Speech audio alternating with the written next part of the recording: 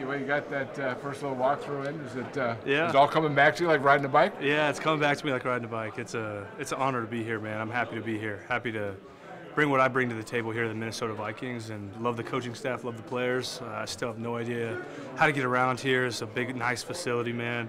I'm gotten lost two or three times already, so I'm just taking water through a fire hose, man. Holy cow! I don't even know where lunch is. I got to get to lunch at some point. Have they explained your role? What your role will be?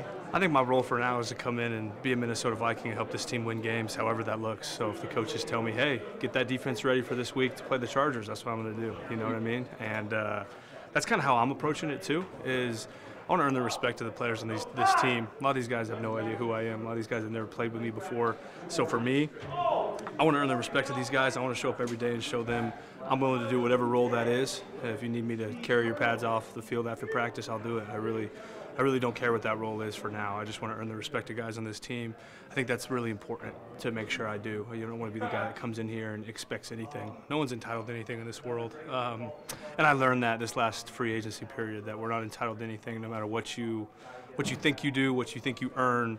Uh, sometimes life throws you a curveball. So I'm just in, I'm just enjoying it, man. I'm in purple. Back in purple. It's been four years since I've been in purple, and uh, I love it up here, man. The fans and everyone's embraced me pretty well. Why do you think that? I mean, you mentioned the, the wait. Why do you think that took as long as it did to? Dude, I wish I knew. So if you could do some digging, that would be awesome. Um, of course, people will find. People always want to point a finger, right? Whether it's me, whether it's uh, my mix-up with uh, my dog, my dog Brett Rippin on Christmas last year, uh, Nickelodeon game, not a good game to do do that, right? Um, some people pointed to that. Some people have pointed to I didn't have a good season. Some people have pointed to man, bad guard market. Uh, I think it's a mix of a lot of different things. I think that. I was holding my worth early in the process, and uh, maybe I should have called teams earlier and said, "Hey, I'll take less than what you guys actually think," because maybe they viewed me up here. But end of the day, this is God's plan. He opened this door for me to be a Minnesota Viking. You guys are probably going to hear me beat a dead horse with it, but I, I love Jesus, man. I feel like this is where I need to be. This is where I want to be. And why did you know? Why did God take eight months to just bring me here? That I could have done this, you know, six months ago. I have no idea. I wish I could have done that because I could be in the playbook by now and know my teammates, stuff like that. But I wish I had the answer. I think some things in life you don't have the answer to, so I just got to put my head down, go to work, and hopefully change that for next offseason. How wonderful is it to work with Coach Kuper and Coach Scotty? It's great, man. Just being in the offensive line room with them, uh, just being around Coach Coop, Coach Scotty. Love those guys. Um, I had three years in Denver with those guys, and I have a lot of respect for them and a lot of translation from what I did in Denver with Coach Mike Munchak, with Coach Coop as the assistant offensive line coach in terms of terminology, things like that. So feeling pretty comfortable with it, but for the first day, man, like I said, I'm just trying to trying to get my bearings first. Could you play Sunday? Could you play Sunday? Um, could I play Sunday? Come on, man. I'm, I- I'm, I'm from Wiggins, Colorado, brother. I'll do anything, man. I'm just a country boy, dude. I'm not a prima donna. So, would I know which direction to go if, at this point? Uh, I'm not gonna lie to you, bud. No, probably not. I just did a walkthrough. I don't know what I'm doing yet. So, um, like I said, I just got to kind of take it day by day. But of course, man, if they want me to play, it's what I came here to do. You know, I don't care if I don't know what I'm doing. I'll just ask somebody. But whatever they need from me, I'll do. If they need me to serve water on the sidelines, dude, I'll do it. Dalton, how long has this process been in the works for you guys? I know you were playing the cat and mouse game with fans on Twitter and stuff like that, having fun.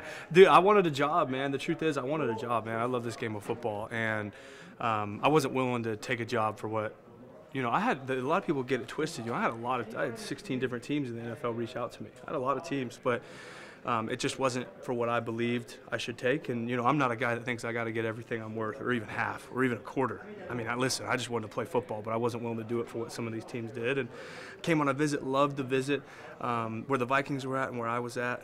Um, just wasn't wasn't matching up. Um, so I think that they took some time, and I think that some things happened, maybe injuries. I don't know what it was that they're like, okay, we want you to come in now. I'm like, hey, I'm ready to go. Let's rock and roll. So I think that I think the cat and mouse game was just a part of it. And you know, the funny part is, you know, I had just landed in Denver from working out in Dallas training, and I uh, posted a picture. The fans, they're gonna be so angry with me, man. But I just posted a picture of the, of the departures. But I had just landed. I was just getting back to work out, bro. I'm just, I'm like, I'm gonna try and mix something up, man. One of these GMs has to have a Twitter, right?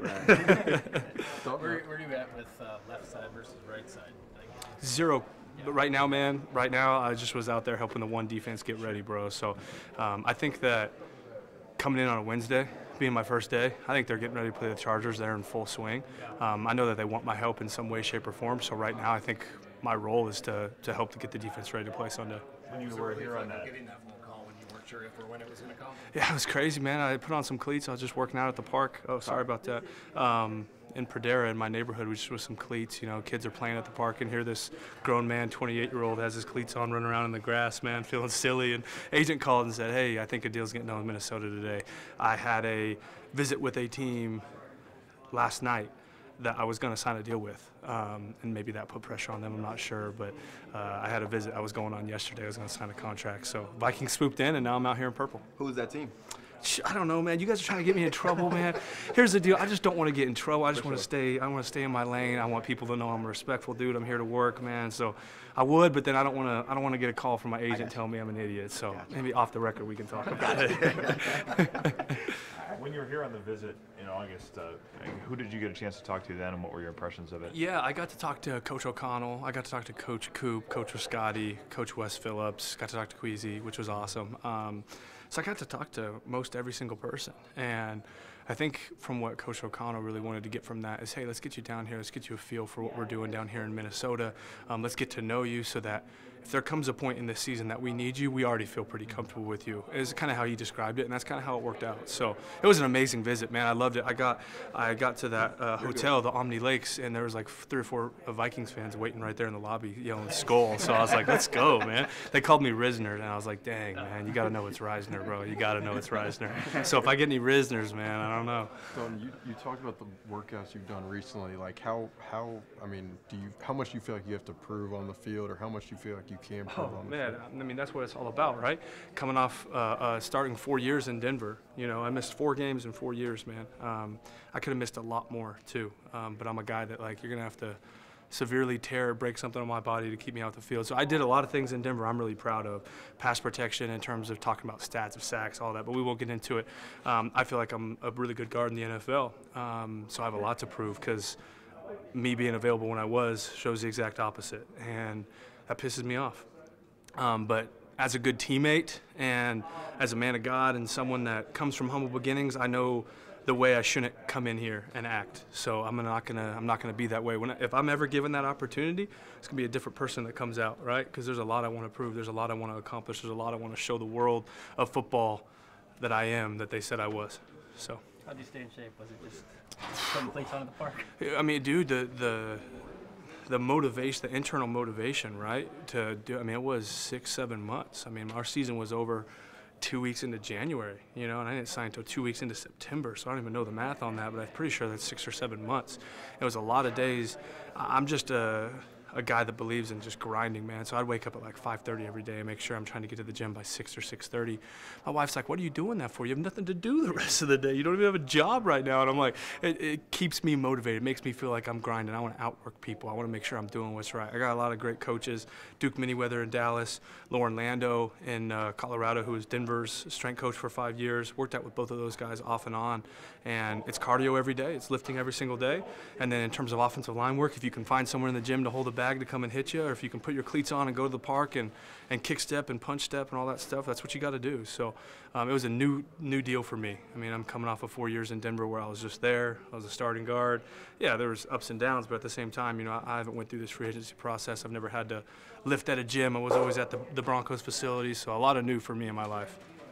And, and what will it be like? I mean, does it take how long before you're in game shape, or is that a process, or are you game ready right now? I think that's up to the coaches, man. Um, I think every single person in here will probably tell you um, that they believe in themselves, right? And I believe in myself. So you tell me I need to be ready to go, I'm gonna be ready to go. But uh, I kind of mentioned it earlier, but coming in here, earning the respect of guys around me, grinding my ass off, showing these coaches the type of player that I am. Um, and that's their decision, when they decide that I'm ready, whatever role that they want to have me in, I'm gonna be ready to go. Do you, do you I mean, w- when you look at what uh, their body of work, I mean, do you, do you thrive on running the football if you're a guard and offensive lineman, or not necessarily so in the NFL anymore? I love to do it all. I love the pull, man. I love the pull. Um, that's something that I've always loved to do. I love to pass protect too.